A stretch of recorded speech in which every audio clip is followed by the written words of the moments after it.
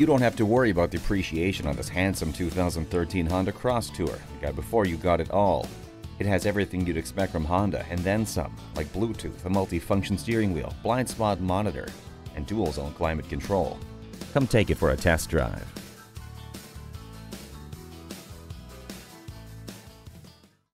At Rusty Wallis Honda, our primary goal is to satisfy our customers. Stop in today. We're easy to find just off I 635 at Shiloh Road.